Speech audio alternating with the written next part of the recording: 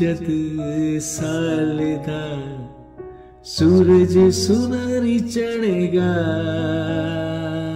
ਮੇਰੀਆਂ ਰਾਤਾਂ ਦਾ ਤੇਰੇ ਨਾਂ ਸੁਨੇਹਾ ਪੜੇਗਾ ਤੇ ਵਫਾ ਦਾ ਹਰਫ ਇੱਕ ਤੇਰੀ ਤਲੀ ਤੇ ਤਰੇਗਾ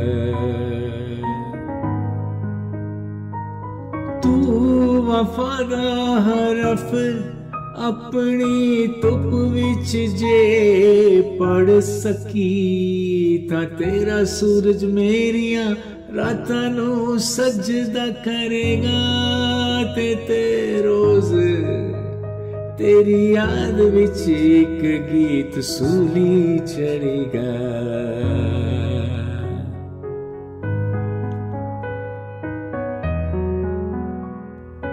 ਪਰ ਵਫਾਦਾ ਹਰਫ ਔਖਾ ਹੈ ਡਾ ਪੜਨ ਨੂੰ। ਰਾਤਾਂ ਦਾ ਪੈਂਡਾ ਜਾਗ ਕੇ ਕੋਈ ਸਿਦਕ ਵਾਲਾ ਪੜੇਗਾ।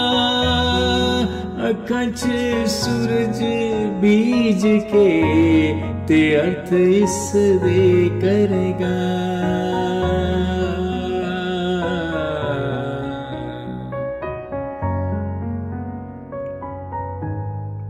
ਤੂੰ ਵਫਾ ਦਾ ਹਰਫ ਪਰ ਪੜਨ ਦੀ ਕੋਸ਼ਿਸ਼ ਕਰੀ।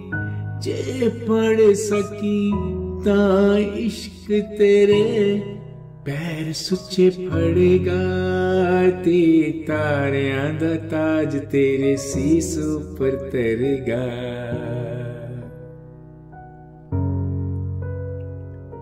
ਏ ਵਫਾ ਦਾ ਹਰਫ ਪਰ ਜੇ ਤੂੰ ਕਿਤੇ ਨਾ ਪੜ ਸਕੀ ਤਾਂ ਮੁੜ ਮੁਹੱਬਤ ਤੇ ਕੋਈ ਇਤਬਾਰ ਕੀ ਕਨ ਕਰੇਗਾ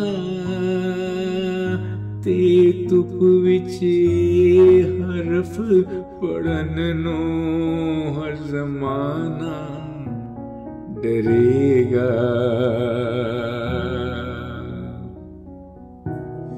ਦੁਨੀਆ ਦੇ ਆਸ਼ਿਕ ਬੈਠ ਕੇ ਤੈਨੂੰ ਖਤ ਜਵਾਬ ਲਿਖਣਗੇ, ਪੁੱਛਣਗੇ ਇਸ ਹਰਫ ਦੀ ਤਕਦੀਰ ਦਾ ਕੀ ਬਣੇਗਾ।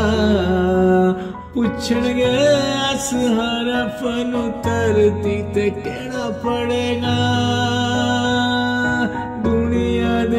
ਦੇ ਆਸ਼ਿਕਾਂ ਨੂੰ ਉਤਰੇ ਜੇ ਤੂੰ ਨਾ ਮੋੜਿਆ।